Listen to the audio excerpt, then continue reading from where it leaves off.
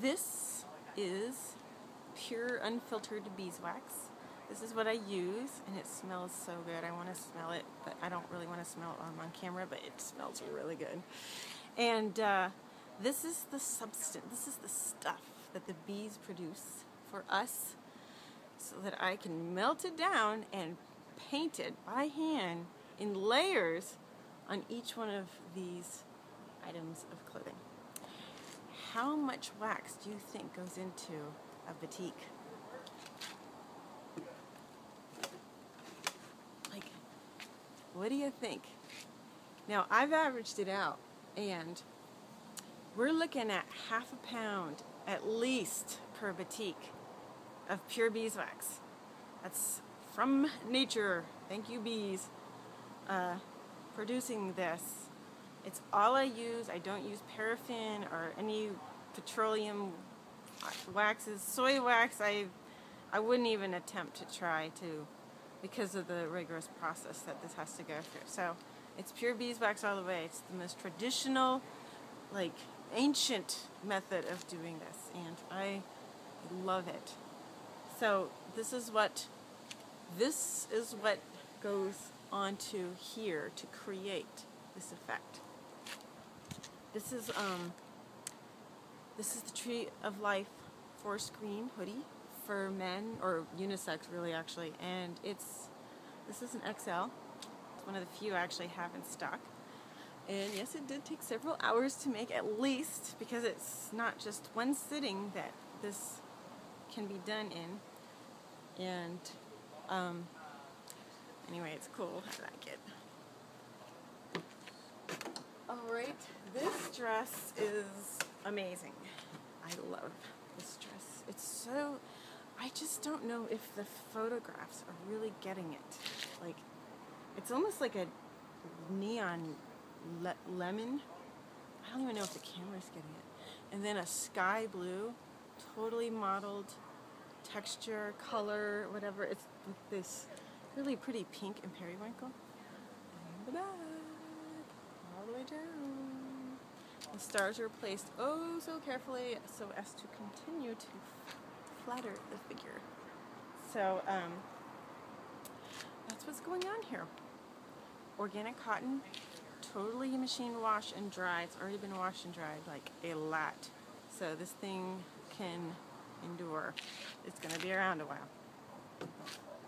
That's another thing too, is that it this stuff lasts. I've had people come back after they bought something at some crazy show or festival and like the the batik is still intact but the cotton the shirt the fibers of the shirt are like some of you know what I'm talking about because you've had yours for so long but so I know what I'm doing. Um I need two new dresses. They're so nice. Okay I haven't even I have we, we just did a photo shoot of them last this week and I actually tried no what not one of these but a different one on and they fit me cute. So I'm a size 8 pretty much. My model's a size 4. And so you, there's a range. I actually had, I'm going to put a video of me in the size small on YouTube. I don't know if I'll put it on Facebook, but I might just put it in the product listings for the dresses so that you can see what um, this what a small looks like on a size 8 and also the pictures of her. And it, it's just great fabric because it stretches but it's not clingy.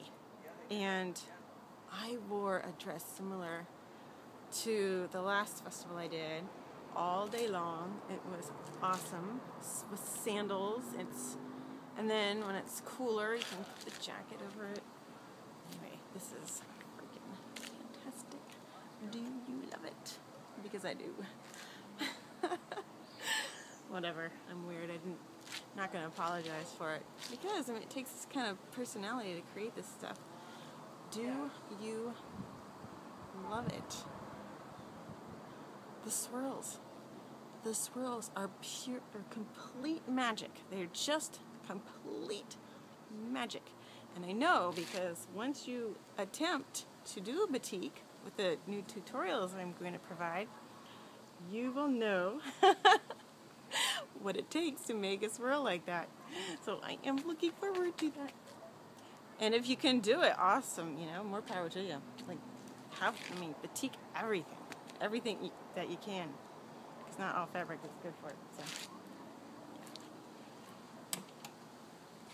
Oh yeah, and check this out. Look. Like, where does this stuff come from? I don't know. I don't even know. I just make it. I just sit there and just boom. It just happens. Looks so good on the model. Just the back, like when she was walking, I'm like, that's what we're doing here. So, freaking cool. Whoever gets this dress, you're lucky. You know, kind of fun. So she wore it with the front down, like this, which was freaking divine. Pardon my swearing, but it's kind of fun. Anyway, she wore it down the front, like this. And, okay, there's a step here, but anyway, it's so pretty with a little star. And then this was on the back, but I could wear this. I mean, you know, it depends on someone's personality and body type and just the coloring. And I just got poked in the face by the hanger. You know, but you could wear this in the front and then this in the back. Wouldn't that be cool? Oh, I love it. I love. Anyway, those who have a batik will really understand and appreciate what they're wearing, and you don't have to be delicate with it either. So I, that's I love that part.